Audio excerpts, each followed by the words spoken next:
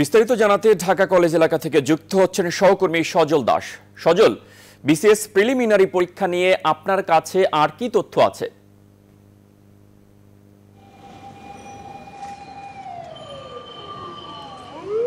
ধন্যবাদ আপনাকে। ঢাকা কলেজের সামনে রয়েছি।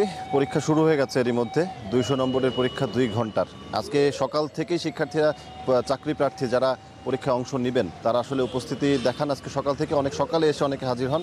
আর খুবই নিরাপত্তার সাথে এবারের পরীক্ষাও শিক্ষার্থীদেরকে ভিতরে প্রবেশ করা হয়েছে। চাকরি প্রত্যাশী যারা এসেছেন যেহেতু প্রত্যেকবারই আহ, পরীক্ষার প্রশ্ন ফাঁস ধরনের, এই ধরনের গুজব কিংবা এই ধরনের অভিযোগ আসার একটা সম্ভাবনা থাকে। যে কারণে বিসিএস পরীক্ষায়ও বাড়তি নিরাপত্তা নেওয়া হয়েছে এবার বাড়তি সতর্কতা নেওয়া হয়েছে।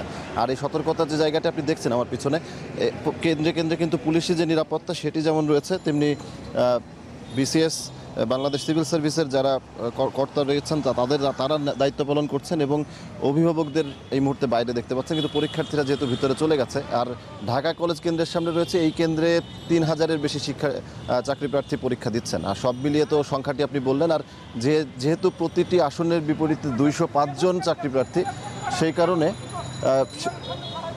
এই দুইশো পাঁচজন যে প্রতিযোগিতা, সেটি কিন্তু খুব ভালোভাবেই বোঝা যাচ্ছে।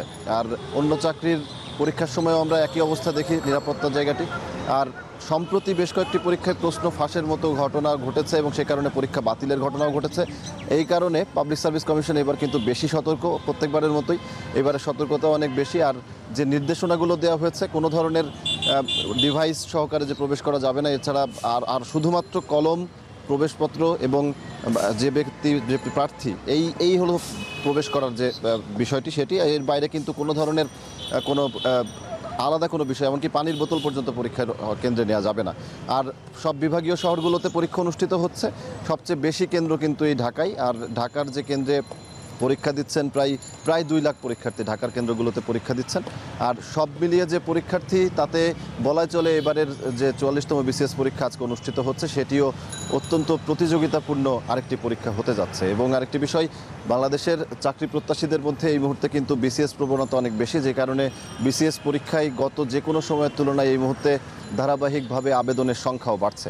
এবার সতেরোশো দশটি আসনের বিপরীতে যে আবেদন সংখ্যা, অন্যবার কিন্তু এর সংখ্যা আসনের সংখ্যার সাথে সাথে এর সংখ্যা বেশি ছিল।